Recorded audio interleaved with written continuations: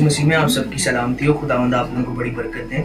मैं अपनी गवाही शेयर करना चाहता हूँ कि कुछ अर्से पहले आ, मैं बहुत ज़्यादा बीमार हो गया था।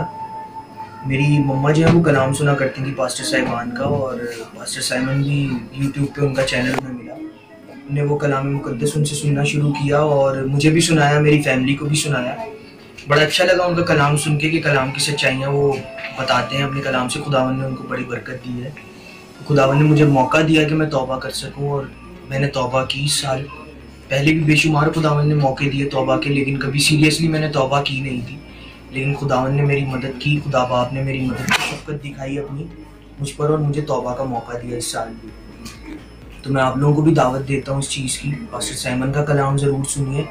और जब आप कलाम मुकदस सुनते हैं तो उन लोगों से ज़रूर सुनिए रूहों को ज़रूर परखिए जो आपको यीशु मसीह का सच्चा प्रचार सुनाते हैं। तो उनमें से पास्टर साहिबान में से पास्टर साइमन भी एक है। खुदावन का शुक्र हो कि खुदावन उनके ज़रिए से कलाम करके तोबा का मौका मुझे दिया।